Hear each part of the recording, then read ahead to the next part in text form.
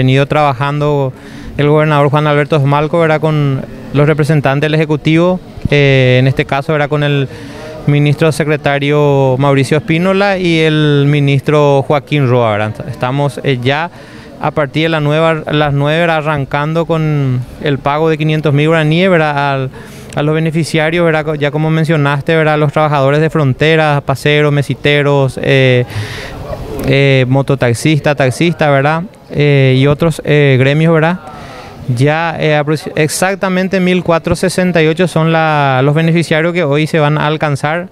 En total se tiene previsto más de 4.500, ¿verdad? Y siguen todavía cruzándose lista. decimos cruzando lista porque hay un requerimiento que, que se había emitido a través de un decreto presidencial donde eh, había unas características de lo que tienen que reunir las personas para que puedan ser adjudicados. En el caso del filtro, por ejemplo, no haber recibido PUTU 2.0 para ser beneficiario, ¿verdad? En este pago, ¿verdad? También no, no tener ningún ingreso o ningún beneficio social económico del Estado, tales como PUTU, eh, perdón, eh, eh, tercera edad, tecojá, ¿verdad? Eh, no ser tampoco eh, funcionario público, ¿verdad? Superar también, o no superar, mejor dicho, el movimiento de un salario mínimo. También no tener IPS, ¿verdad? Entonces esos son más o menos los parámetros que se, de requerimiento que tiene el decreto, ¿verdad? Para ser beneficiarios potenciales. ¿La lista con cuántas personas aproximadamente contaba y cuánto se aprobó, Nemias? Y la lista que se presentó hasta la fecha son aproximadamente 14 eh, mil eh, beneficiarios potenciales, ¿verdad?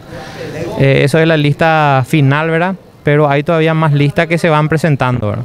Este sería un primer pago. Este sería un primer pago. ya está también preparado para realizarse un siguiente pago de más de 2.700 beneficiarios también que vamos a estar esperando las, indicaciones de la Secretaría de Emergencia Nacional. Hoy, eh, según entendemos, ¿verdad? la capacidad de INACOPA es más o menos 900 pagos por hora. Entonces, eh, si vienen todos los beneficiarios hoy, van a poder eh, ya estar realizándose todo el pago.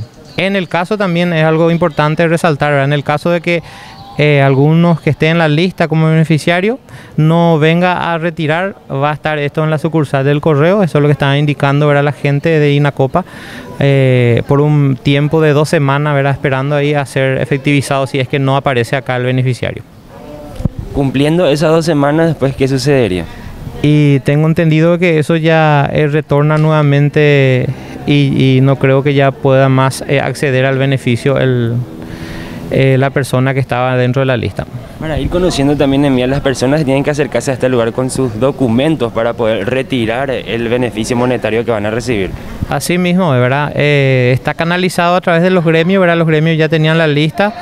Eh, ellos van indicándole a sus agremiados para que se vayan acercando con su documento, ¿verdad? las personas titulares con su documento acá en este lugar y van siguiendo los procesos que tienen acá en la mesa. ¿verdad? Tenemos en un filtrado donde van a ir verificando si son los beneficiarios y ya ingresan adentro para realizar el cobro efectivamente.